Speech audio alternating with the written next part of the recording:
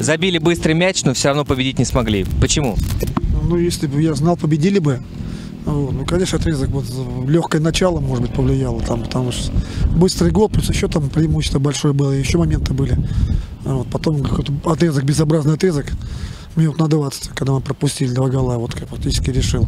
Как бы, если это трудно понять, что повлияло, да.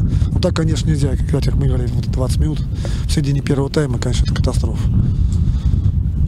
Вы много матчей провели за факел. С какими чувствами вернулись в Воронеж? Ну, не, да, трудно сказать. Но Воронеж негостеприимным оказался. Да, а так ну, всегда приятно приезжать, конечно.